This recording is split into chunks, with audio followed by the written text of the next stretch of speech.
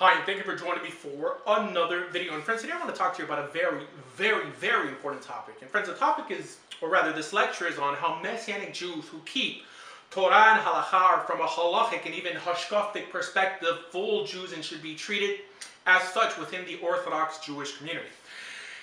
Um, now, that may not be as shocking to hear than this, that this even applies if they believe that the Creator, the God of Israel, has a body or has clothed himself in a body, or even believe that the God of Israel might possibly be made up of parts or sectors making up one unit, no matter what these units may be called.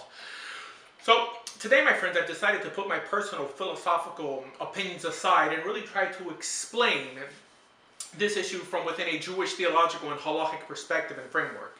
And friends, I honestly believe that any other rabbi out there who really carefully, honestly analyzes this issue would arrive at the same conclusion. And friends, I would really appreciate if people would not misconstrue this lecture for what it is not. In other words, this is not an endorsement for Christianity, neither its beliefs or practices. No, friends, I'm just giving my rabbinic opinion on what I believe is a serious, serious issue. Because actually, certainly, again, my friends, certainly, in my personal philosophical opinion, or according to my personal philosophical opinion, I find any theological argument, either Christian or Jewish, about some supposed corporeality of the Creator or a Messiah that already came and is coming again, or even the supposed compound unity of the Creator of Israel to be both foolish and idiotic. But again, this is just from a philosophical perspective and not halachic. However, my or anyone else's philosophical beliefs should not and cannot seal a person's or a group's religious status or fate if what they believe does not literally contradict what is called Judaism. And what is that? What is called Judaism? Friends, Judaism is not what you or I decide it is. In other words, what Judaism is was decided long ago on Har Sinai, and neither mine or your opinion can change that. In other words, Judaism is Torah and Halacha and nothing more. Torah are the mitzvot within the five books, within the Chumash, and Halacha or the Halachot are the practical decisions and or interpretations made by the Beit Din HaGadol, the Sanhedrin, which I might add are also literally endorsed by Torah itself. Which is why I'm making this video to state that according to Jewish law, in other words, Torah, what we call Judaism, According to this, Messianic Jews halachically are not heretics. Again, if they keep Torah and halacha, which would also include undergoing a halachic conversion if they are not already Jewish. In other words, if the only thing keeping them from modern day normative Judaism are beliefs about corporeality of the God of Israel and possibly splitting him into parts that make up one, they are to be considered full Jews and not be discriminated against according to halacha. And friends, if you have a personal issue with this, apart from the silence shown about it by Chazal, you should have to explain why do you then consider many other rabbis of the past and even present that hold similar beliefs still Jewish? Because, friends, the truth is that we're actually fighting about nothing. We're really fighting about nothing. And this is not really just my opinion. This is what Judaism has to say about it. And what's that? What does Judaism actually have to say? Well, honestly, from a halachic pre-Rishonic perspective, nothing, because it's silent on the issue.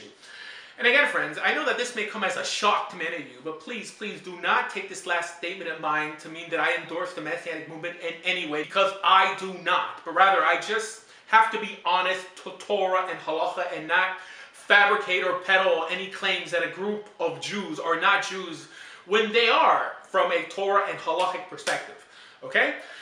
And friends, I'm not saying this from the perspective of once an ethnic or genetic Jew, always a Jew, because those of you who've seen my lectures in the past know that I teach against this concept. But rather, that as Torah Jews, we have a halachic framework we must work by. And according to that framework, these individuals, Messianic Jews, are not technically classified as Ovdei Avodah Zarah or Kofrim. Though I again adamantly, philosophically disagree with their beliefs. And the shocking truth is that many modern rabbis know this to be true, but what they stay silent, mainly because of the silent war that Jews have waged against Messianics. So, friends, let me try to explain a little further. Look, I know many in this lecture will just ignore that I said that this is according to Jewish law and will just say that Rabbi Asher Meza has become a Christian. But no, that even though I'm anticipating stupid responses and the ultimate backlash I will receive from the Orthodox world friends, I still feel that as a true Torah Jew, my first obligation is to truth, and that I must remain theologically and intellectually honest if I'm going to be any use to you as a rabbi. Which is the main reason I know you tune into my lectures to begin with, because ethics, truth, and accuracy have always been my agenda, no matter whose toes I happen to step on to achieve that outcome. And note that apart from incorrectly classifying Messianics as heretics in previous lectures, I have only brought to you pure Judaism. And as you know, I'm always willing to publicly debate anyone who says anything different. And friends, honestly, I believe that the biggest confusion in properly understanding this issue is ultimately knowing how Judaism functions. And this point is really the basis of my whole thesis, because you must know, friends, that Judaism has a pre-existing systematic framework to itself that decides how it functions. Now, mind you, I understand that depending on what community you hail from, your Judaism may differ from the other guys, but ultimately, if all the static Torah and halachic decisions are upheld by your group, and your cultural additions do not contradict the latter, there is no reason for you or your group to be hailed as outsiders within the Jewish religion or people. Which is ultimately how I now view Torah and halacha keeping Messianic Jews as belonging to a community of their own, while still upholding the prerequisites that make them socially and halachically Jewish, i.e., keeping Torah and halacha. And if they are to be unjustly excluded for their obscure beliefs, are you willing to also exclude other accepted Jewish groups or rabbis for their beliefs. So again, friends, a big question you should have in mind is ultimately, what is Judaism? And friends, Judaism, again, is not what you or your rabbi want it to be or whatever society would deem it to be. No, my friends, like we said, ultimately, Judaism is only Torah and Halakha and nothing more. And as you know, that there are also an untold number of works and opinions surrounding these, but these works or opinions do not and cannot change or alter Torah or the actual halakha, which is what I'm basing my conclusions off in this video, that according to, again, Torah and halacha, an individual can believe that the Messiah came and is coming again, and that the Messiah is the God of Israel incarnate, and still be a 100% kosher Jew. And again, these are ideas that I deeply philosophically disagree with. But again, this is a disagreement that does not depart from the philosophical and is not literally opposed to Torah and Halacha. Now, friends, the big question is when did the notion begin that a Jew who believes in such messianic doctrines loses his Jewishness? And the short answer is the Rambam, both in his Mishnah Torah and according to his 13 principles of faith.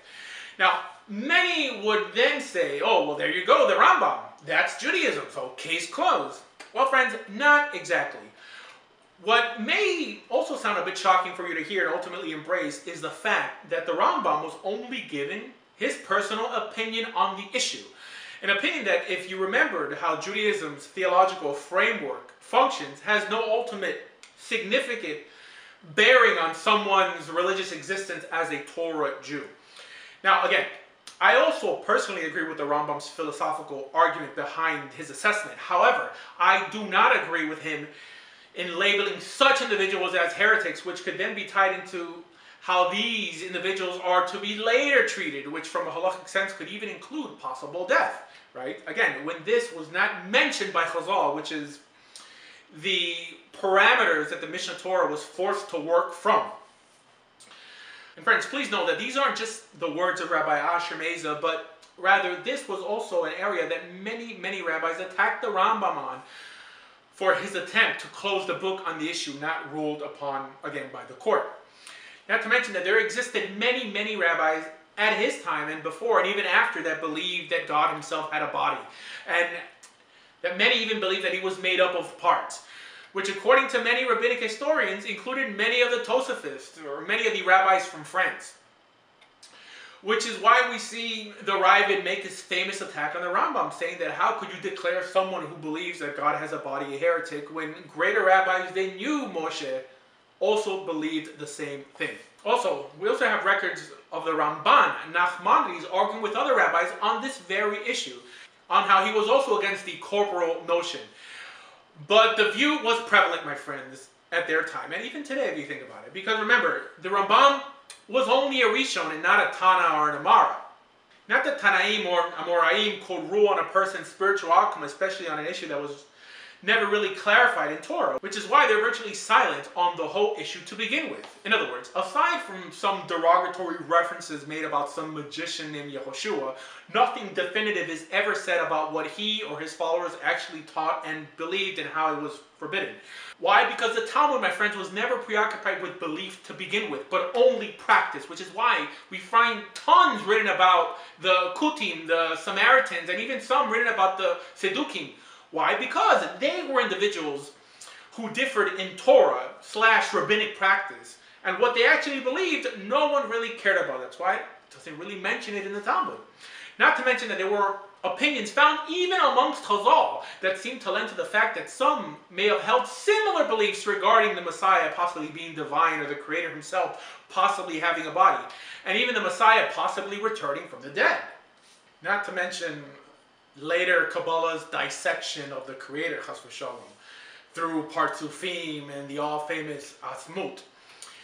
In other words, it seems that extra biblical beliefs seem to bother us now more than it ever bothered the sages back then, or even many Mikubalim or Kabbalists today.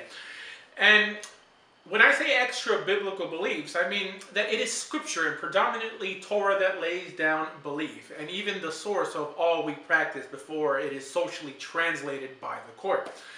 You know what? This is actually the same argument we make against the Christian world. Now, the argument resonates a little better with their source text, being that they claim to believe in sola scriptura. When we constantly tell them, how can a good God punish the Jewish people for not believing in a Messiah, not clearly referenced to in Scripture? While they then begin to judge us by the words of their New Testament that does not and cannot change or override the words or the lack of words found in Torah about that issue.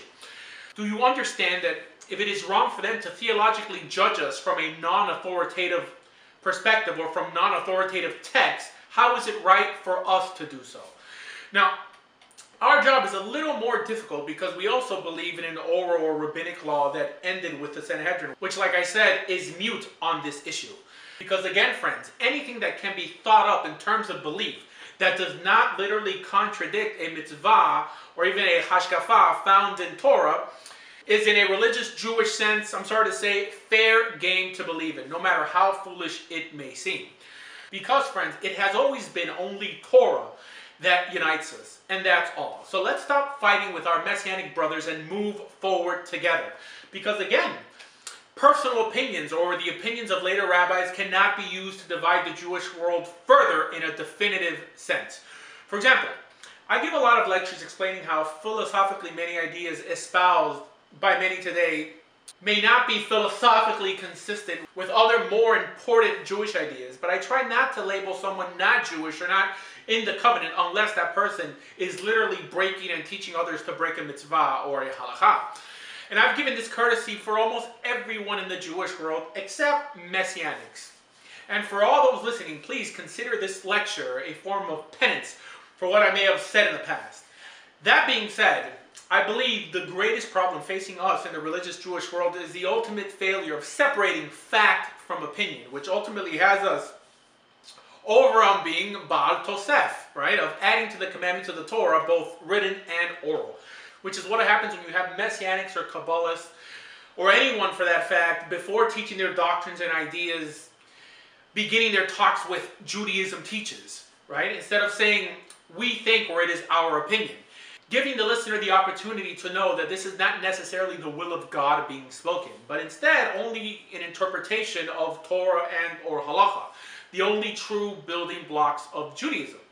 So again, friends, you must first understand the systematic theological framework I'm using to make these claims, because I know that many are just going to start posting post-Talmudic sources showing me on how some rabbis called Christianity idolatrous. And friends, I'm familiar, but this does not in any way set a new halachic or hashkafic paradigm. In other words, it's just their opinion an opinion I happen to agree with, but ultimately not definitive Judaism.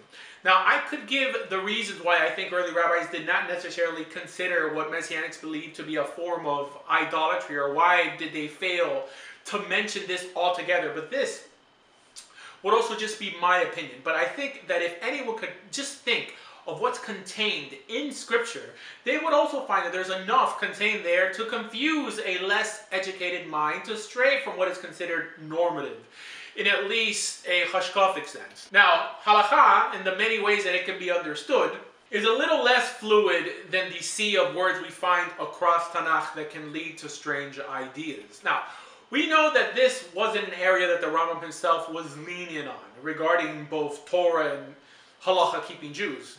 For example, he writes in Moreh Nevuchim that, that you can keep and believe in where you're supposed to keep and believe in, and at the end of the day, still not have a share in the world to come if your beliefs are not properly understood.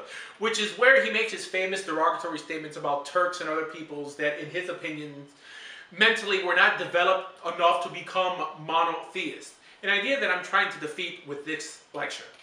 For example, whenever you debate or discuss with a Christian, he or she does make an attempt to justify what he or she believes off of Scripture, mainly from obscure passages in the prophets and even the writings, but friends, an attempt is made.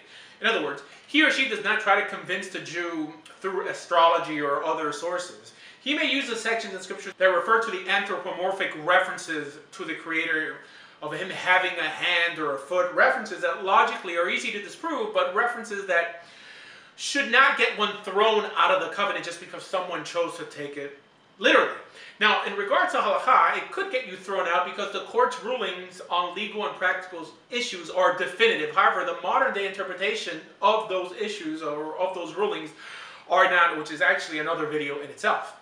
And again, friends, all I'm saying here is only regarding Christians or Messianics who adhere to halacha, i.e. the Sanhedrin's legal rulings, and those who believe Judaism is not just traditional Christianity with a kippah.